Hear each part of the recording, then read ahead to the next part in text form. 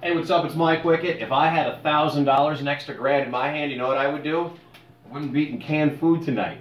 Chunky Soup or Chef Boyardee. You can win a thousand bucks though, and you can do it 7 a.m. on Thursday morning right here on Sports Radio 105.7 FM. The Fan. Be listening for the keyword and text it to 72881. Put a grand in your hand, so you have to eat canned food for the next year. Right here on Sports Radio 105.7 FM. The Fan.